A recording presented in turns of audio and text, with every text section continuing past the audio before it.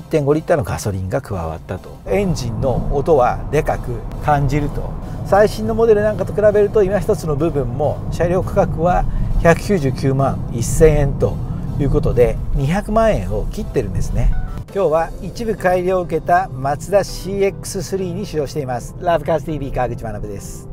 さあ今回 CX3 一部改良と。いうことになってまず大きな特徴としては新色のポリメタルグレーメタリックが採用されたと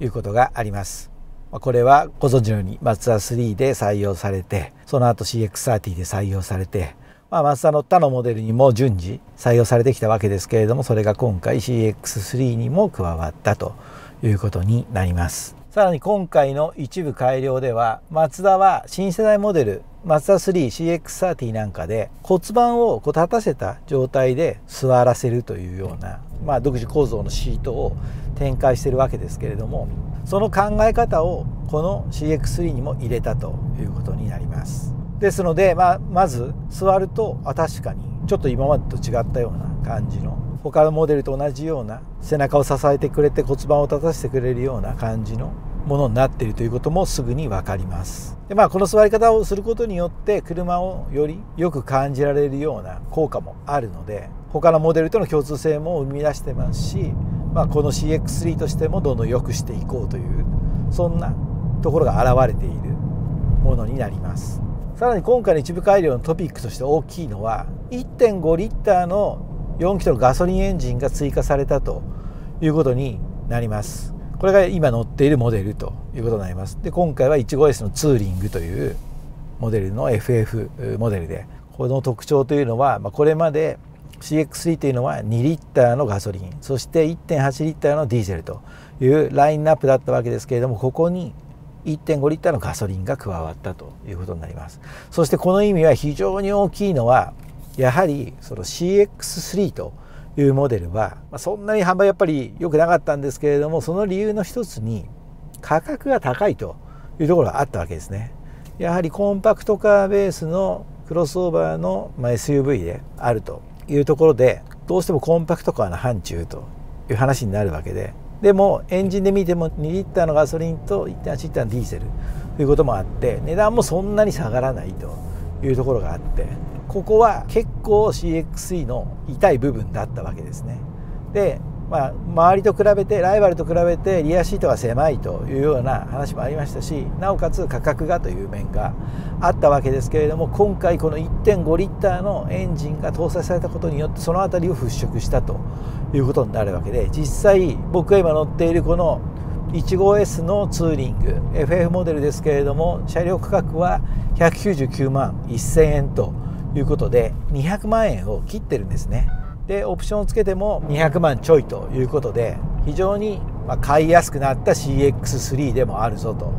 いうことなんですねしかも買いやすくなったというところでこれまで CX3 のようなモデルを試行してきた人にとっても非常にそれは嬉しい部分になってるわけですけれどもこれと合わせて今まではやはり値段の差があったのでこうターゲットに入ってこなかった人というのもいるわけですけれども例えばこれが200万円を切ったことによってこれまでマツダ2を選んできたというような人も目を向ける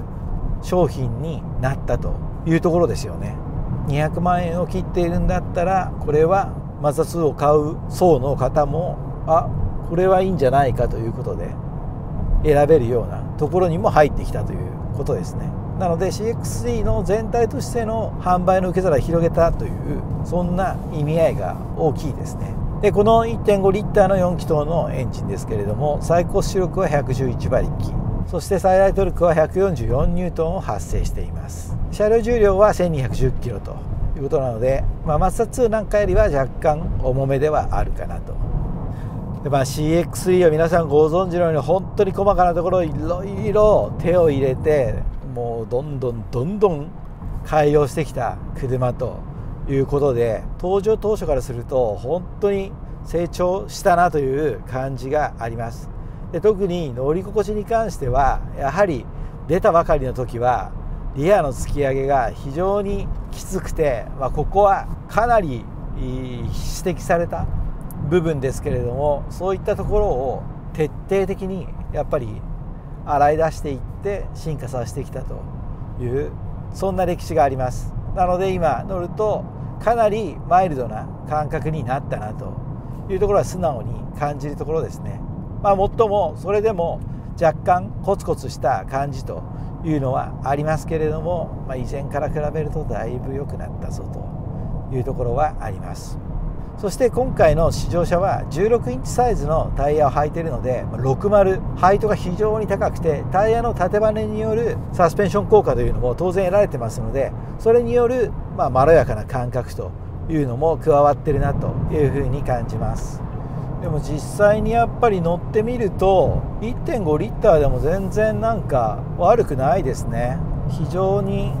キビキビと走る印象がありますし結構力強く加速していくぞというところもあります。それとアクセルの回路に対して割とスロットルを早く開いてくれるのでグッと出るようなところも演出されていてこの辺りも今までの2リッターとか1.8リッターに比べて著しく、まあ、テイストが変わらないようにしてるんだろうなということを感じますね。なのでドライブトレーン的には力がそんなにこう著しく不足するような感覚というのはないです。むしろ反応よくキビキビと走れるだけのドライブトレインになっているぞということをお伝えできます。一方でシャシーですけれども、まあ、乗り心地以前よりだいぶ良くなったなというのは先ほどもお伝えした通りですけれども、まあ、乗っているとオーバーオールではフラットライドな感覚というのはすごくあってここはいいところだなと思いますけれども継ぎ目を乗り越えた時の足さばきという意味では、まあ、やっぱり頑張ってはいるけれども最新のモデルなんかと比べると今一つの部分もあるのが実際かなというところですねそういった段差継ぎ目を通過した際にちょっとブルブルっとした感じの動きというのは出やすいですし割とコツコツコトコトした感触が出やすいところはあるなということは感じます。まあ、この辺りは登場した年次もやはり結構以前のことになりますから致し方ない部分ではあるなというところではありますね。で今も走っていて路面比較的綺麗ですけれども少しこうフルフルっとした上下動が出やすくなってるかなというところはあります。それと高速道路を乗るようなシーンだと割と回転が高めに終始するなというところはあると思います。エンジンの力的には全然物足りなさは感じないんですけれどもそれがゆえに回転は結構高いところに常にいるなという感じがあってやはり2000回転をオーバーして3000回転に届かんとするような領域で回ってるので結構エンジンの音はでかく感じるというのも正直なところですね。とはいえ反応はすごくいいなというふうに感じます。このような感じで、はい、結構早くキックダウンするような感じでこの辺り人によっては運転の仕方次第ではちょっとビジーな感じになってしまうかもしれないですね。とはいえ、まあ、ハンドリングのしっかり感とかスポーティーさっていうところは相変わらず上手に作り込まれてるなっていうのは感じますよね。この辺りは松田らしいところですしこういったコンパクトなクロスオーバー SUV であってもキビキビ感をきっちり盛り込んでくるあたりは、まあ、マツダの走りへのこだわりというものが感じられる部分ですよね。これ高速で100キロぐらいになってくるとちょっとエンジン煩わしく感じるシーンがもしかしたら出てくるかなというところありますね。特にアクセルの踏み込みがあの多い人は結構ビジーな動きをしちゃうかもしれないですね。そういうまあ特性になっている。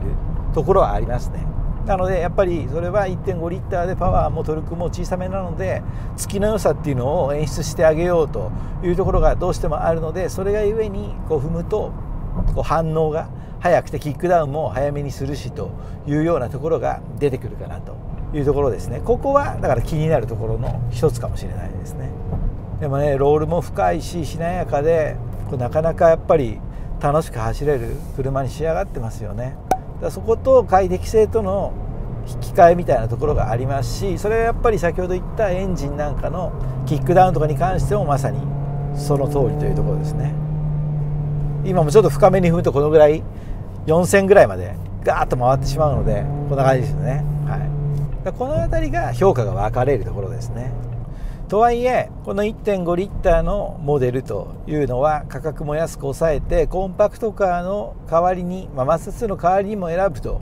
いう人が出てくることを考えると、まあ、街中での使い勝手においては先ほどのアクセルのこの反応の良さとかスロットの開き具合とかっていうのはまあキビキビ走るための要素にもなりますのでその辺りは走るシーンによってもだいぶ評価も変わってくるかなというところありますね。なので街中中心に乗ると結構元気に走れていいという評価が多くなってくる気もします。一方で高速が多いとちょっとビジーなところがあるぞという話も出てくるのかなというふうに思います。まあ、あとはスポーツモードの切り替えもついてますけれどももともとやっぱりすごくこう元気な感じの特性なのでスポーツモードにするとさらにちょっとこう元気になってしまうのでこの辺を煩わしく感じる人も多いかもしれないですね。はいというわけで CX315S ツーリング試乗してきましたけれども、まあ、今回このエンジンが搭載されたことによって非常にお買い得になったということは喜ばしいことですし、まあ、コンパクトカーを欲していた人もこちらに流れてくる可能性も作ったという意味では非常に意義ある1台かなというふうに感じましたただやっぱり1.5リッターにしたことによってそのパワーの小ささとかそういったものを補おうとするセッティングがゆえに、まあ、ちょっとこうキビキビ感が、まあ、ちょっとスロットルの開き方が割と早かったりする部分があったりするんですけれどもこの辺りは好みとか走る場所によって評価は結構変わるかなというところはありましたそれとサスペンションですけれども最初からしたらもう相当良くなったんですけれどもやはりちょっとコツコツした部分とかそういうところはですね気になる部分も少し見受けられるかなというところですね。とはいえこの CXE もうすでに CX30 が出てしまっているのでちょっとそのですね影に隠れている感じというのはありますけれどもスタイリッシュな感覚はいいですしサイズも手頃でその部分での魅力というのはまだまだあるのかなとそしてそれが200万円以下というところでバリューがあるというふうに感じました。というわけで最後までご覧いただきどうもありがとうございます。チャンネルを登録いただければあなたの次の愛車が見つかるかもしれません。そしてラブカーズ TV では取り上げてほしい車企画ございましたらコメント欄にリクエストいただければと思います。それではまた別の車でお会いしましょう。ラブカーズ TV 川口学でした。